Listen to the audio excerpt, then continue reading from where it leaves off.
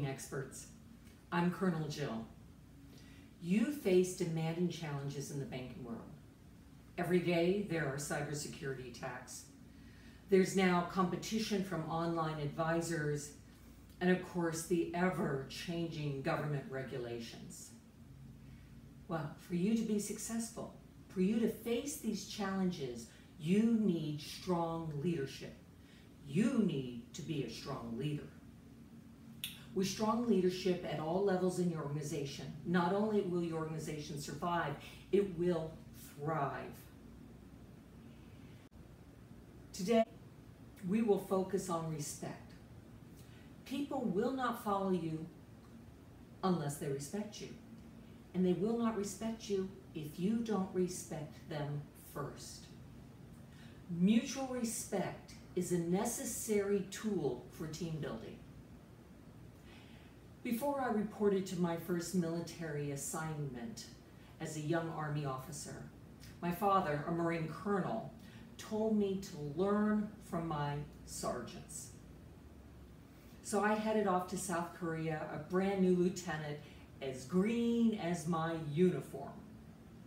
One day my commander informed me that he was sending me up to the DMZ, the demilitarized zone. It looked like we were going to war and he needed an officer in command of the unit there. I was scared. I was nervous. I arrived at Camp Casey realizing the only leading I had done was in the sixth grade as captain of the safety patrol and at boot camp, which was just training. Well, I walked into the company headquarters. I sat behind the big desk and I looked at the team. They were all combat Vietnam veterans. They were all five to 10 years older than me, and they were all in shock looking at this 23 year old woman. I was so nervous. I took a deep breath and then I remembered what my father told me. And I said to them, I don't know anything about leading. Please teach me. And they relaxed and I knew it was going to be okay. I had shown them that I respected their years of service, their expertise, their knowledge, and their experience.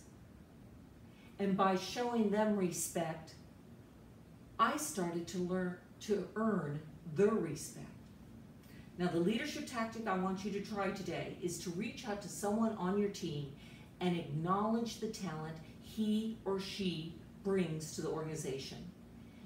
Demonstrate your respect. Tell someone how important they are to your organization. Remember, Show respect before you expect respect. Hooah? Hooah. If you'd like to learn more, hire me for your next event. Visit my website, coloneljill.com forward slash hire dash Jill. And quickly, a little bit about me. I am retired Army Colonel Jill Morgenthaler. I served in the Army for 30 years in Europe, I commanded soldiers, sailors, marine, and airmen from 17 nations. In the States, I commanded over 300 soldiers from six states. And in Illinois, I led Homeland Security.